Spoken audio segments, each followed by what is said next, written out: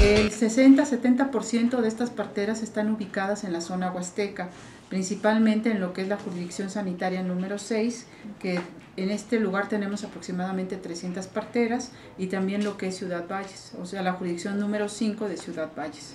Se tienen también algunas parteras en lo que es la zona media y en, en los municipios de Santa Catarina principalmente, y, y también en Estación 14, acá en, la, en el altiplano. ¿De qué manera trabajan ellas este, con las mujeres embarazadas? Eh, mire, las pacientes generalmente es control prenatal. Ahorita nosotros eh, ya tenemos eh, prácticamente una década trabajando con, con acciones muy concretas para disminuir la mortalidad materna en el estado y dentro de estas acciones se incluyen a las parteras.